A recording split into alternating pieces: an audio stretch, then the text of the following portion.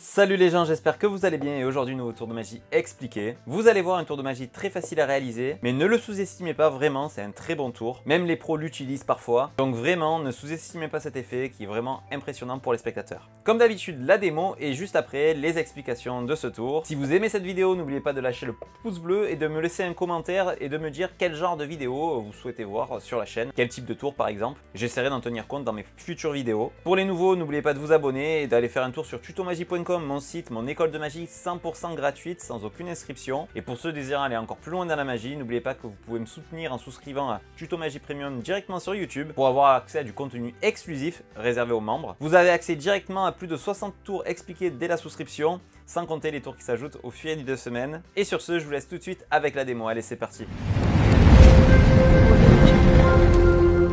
Allez, c'est parti pour la démo et pour ce tour, on va avoir besoin d'un jeu de cartes de 52 cartes différentes qui pourraient être emprunté et surtout mélangé par le spectateur avant de commencer pour être sûr qu'il n'y a aucune préparation, aucune triche, etc.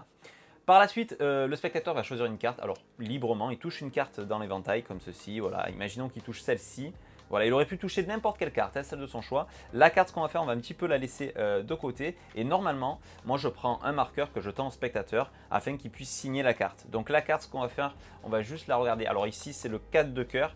Le 4 de cœur, donc on peut bien signer au centre pour être sûr qu'elle est unique et qu'il n'y a pas de duplicata de cette carte. Et par la suite, la carte, on va la perdre, alors vraiment nettement, euh, par ici, voilà, quelque part dans le milieu du paquet. Alors je vais tout doucement, hein. Et certains magiciens, pour retrouver la carte, font quoi? Ils claquent une fois des doigts et la carte remonte sur le dessus. Ici, ça marche pas, c'est pas ce que je voulais faire. Moi, ce que je fais, c'est que je claque deux fois. Et en claquant deux fois, c'est pas une carte qui se retourne, c'est tout le paquet qui passe face en l'air, tout le paquet sauf une seule carte. Et ça serait fort que la seule carte ça soit la carte choisie signée, le 4 de cœur. Et bien sûr, c'est un vrai petit miracle. On se retrouve pour les explications de ce tour vraiment très bien, très facile à réaliser et pourtant très efficace. Alors vous avez besoin d'un jeu de cartes, de 52 cartes à complet. Euh, le jeu peut être emprunté et mélangé par le spectateur avant le tour, c'est ça qui est très important. Ça permet vraiment de faire ça de façon impromptue. L'idée est la suivante, vous allez faire choisir une carte à un spectateur, alors de façon libre, vous allez étaler les cartes en main, et le spectateur touchera une carte. Imaginons qu'il touche euh, celle-ci, vous la décalez en avant comme ceci, et vous allez jusqu'au bout pour montrer que toutes les cartes auraient pu être choisies. Et ce que vous allez faire quand vous allez réégaliser, vous allez tout simplement prendre un break sous les trois dernières. Donc vous allez jusqu'au 3, vous les repérez, vous les dégagez un petit peu du jeu pour placer vos doigts. Quand vous égalisez, en fait, vous allez prendre le break sous ces trois cartes. Là, dans le mouvement, vous allez décaler en fait cette carte sur le côté ici pour avoir la prise pour égaliser l'ensemble plus facilement, comme ceci, voilà. Et en fait, sous couvert, vous allez réaliser un demi-saut de coupe des cartes inférieures pour les retourner face en l'air. C'est très simple en réalité, ne vous inquiétez pas. Donc là, sur un temps faible, ce que vous allez faire, vous venez ici, comme ceci, saisir ici, l'index est ici, et là vous allez basculer ceci vers l'avant. Vous êtes à couvert par le paquet et par la carte ici et par votre main. Vous basculez vers l'avant, la main gauche avec les doigts bascule comme ceci, et là vous réécrasez le tout par-dessus et vous posez ça en même temps sur la table, comme ceci. Franchement, sous un temps, dans la gestuelle, ça passe très bien et vous attirez immédiatement l'attention vers le marqueur que vous avez laissé en amont, par exemple juste ici. Là, vous tendez le, marqueur au spectateur, vous revenez prendre le paquet ici et vous sortez la carte pour qu'il puisse la signer. Dans le mouvement de retourner la carte et de la montrer, les spectateurs sont focalisés sur la carte pour prendre connaissance de cette dernière.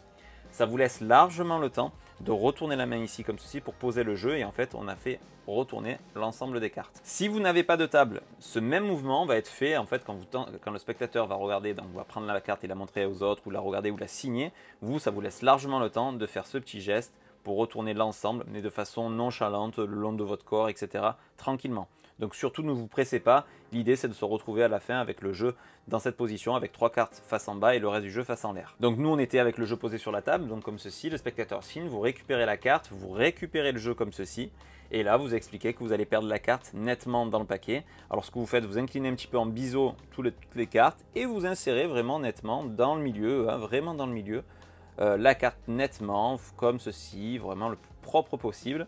Vous expliquez dans la gestuelle que la carte est vraiment perdue dans, le paquet, et là vous comptez une, deux, ça renforce l'idée que toutes les cartes sont dans le même ordre.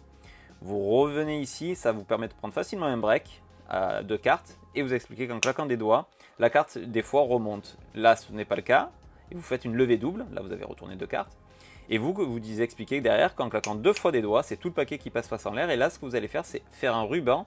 Et en fait, pour cacher la troisième qui est face en bas, vous allez tout simplement pousser un bloc. Alors avec le pouce ici, on a les cartes.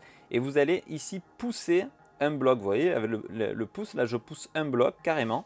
Alors après, on va pouvoir diminuer ce bloc pour donner encore plus l'illusion qu'on étale vraiment toutes les cartes.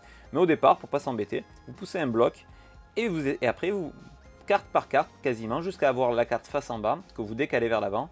Vous allez jusqu'au bout, vous régalisez en faisant attention de ne pas flasher la carte troisième position qui est face en bas, vous sortez la carte choisie et la montrer que c'est la bonne et vous retournez. À la fin, bien entendu, vous avez une carte qui est comme ceci. Mais voilà, si vous posez, le, tour est terminé. C'est très bien. Pour ceux voulant aller plus loin euh, et qui veulent continuer sur notre tour, mais cette carte façon retourner les gènes, sous les yeux du spectateur, vous allez pouvoir faire très facilement euh, votre setup sans qu'il puisse s'en rendre compte. Vous venez, vous ouvrez ici, vous faites un split cut de la première et la, seconde. Vous, vous prenez un break sous deux cartes, comme ceci deux cartes, vous dégagez la double, donc c'est une levée double, vous retournez le paquet, vous vous posez et vous retournez. Et ça, sous les yeux du spectateur, comme si vous triez vos cartes, comme si vous touchez, vous manipulez vos cartes, ça passe très bien. Et en fait, vous êtes débarrassé de la carte qui était retournée dans le paquet très facilement. Donc voilà, à travailler, c'est un tour vraiment très efficace qui fonctionne très bien. Euh, miser sur la présentation aussi, la gestion du public, etc. Mais voilà, niveau technique, c'est pas très compliqué, c'est adapté à tout niveau, hein, plus ou moins. Ça fait travailler les bases et en même temps un petit peu la gestuelle. Voilà.